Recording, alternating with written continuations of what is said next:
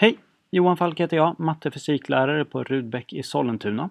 Vi ska kolla på andra gradsfunktioner i den här videon, lära oss lite grann vad de är och vad de kan vara bra till. Och eh, som vi lärt oss tidigare, ett av de viktigaste användningsområdena för matematik är att titta på samband mellan olika data. Jag har gått in här på Gapminder igen och vi tittar på eh, ett diagram över eh, inkomst per person i olika länder och förväntad livslängd i länderna. Vi kan se att det blir någon form av eh, klump med grejer som ligger här.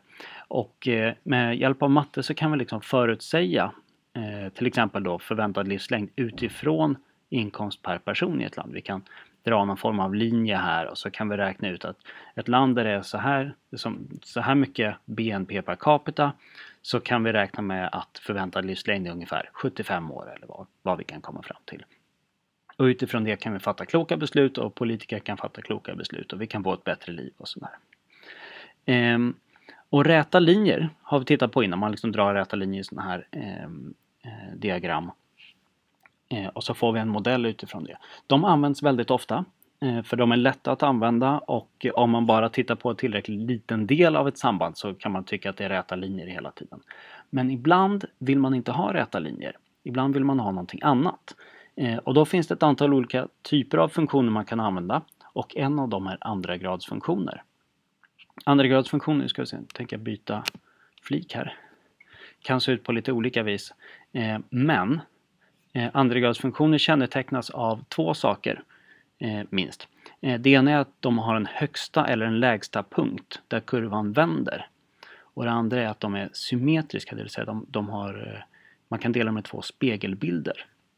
Här har vi tre exempel på kurvor eller data som eh, kan beskrivas väl med, med andragradsfunktioner. Här har vi eh, punkter som ligger i ett diagram där det finns en lägsta punkt här någonstans och det är lite grann en spegelbild här på vänster sida och höger sida så vi har en, en spegellinje som går här emellan. kallas för en symmetrilinje, viktigt ord. Samma sak med den här, vi kan kolla den också. Här har vi data som, eller punkter som går upp och sen ner. Då finns någon högsta punkt här, då fungerar det dåligt med rätt linje. Eh, och istället kan man då testa en andra gradsfunktion, se om det fungerar bra till sådana här data. Här kan vi gissa det, för det finns här då en spegellinje, en symmetrilinje som skulle gå här ungefär. Där det ser likadant ut på vänster som på höger sida. Nu ser vi inte hur jag går ju betydligt längre ner på höger sida än på vänster sida, men skulle den fortsätta här så kan vi gissa att den ser likadan ut ta, kolla på den tredje här också. Den här är inte alls lika brant som de andra, mer utdragen. Och högsta punkten skulle ligga här kanske någonstans. Och det mesta av vänsterdelen av den här kurvan då eh, syns inte alls, men det spelar inte så stor roll. Om det finns en högsta punkt och vi kan gissa att den är symmetrisk så är en andra gradsfunktion en bra grej. Okej, okay, det är andra gradsfunktioner. De är bra för att beskriva vissa typer av samband där det finns maxpunkter eller minpunkter, maximumpunkter eller minimumpunkter. Eh, eh, och det, ett samlingsord för dem är extrempunkter, den högsta eller lägsta punkten på en, på en kurva. Eh, vi ska kolla lite mer matematiskt hur vi kan beskriva dem i nästa video, men det här är liksom vad de är bra för, varför vi vill ha andra gradsfunktioner överhuvudtaget.